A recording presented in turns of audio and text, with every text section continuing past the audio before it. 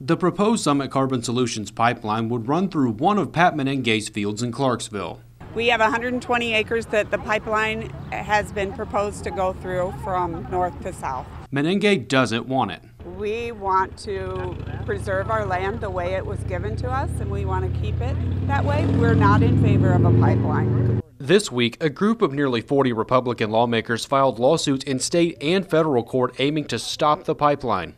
Our group initially started with 19 legislators, but has since doubled in size, reflecting the growing concern among senators and representatives here in Iowa.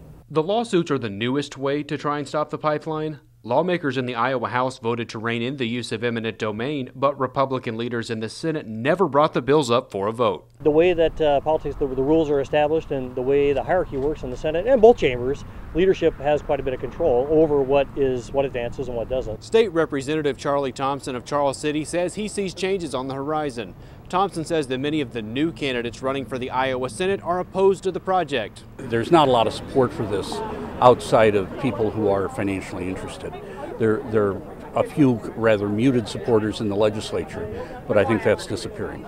Thompson says public opinion is on their side and growing. As more public opinion uh, shifts into our favor, it's going to be harder and harder for um, the Senate to not act on this. I think the Senate's going to be compelled to at some point.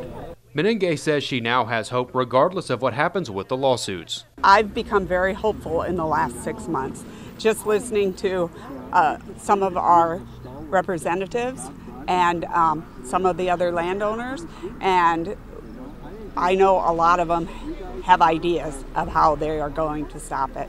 Summit contends that by lowering carbon emissions, it makes ethanol production more sustainable and can increase demand. At the Iowa Capitol Bureau, I'm Connor Hendricks reporting.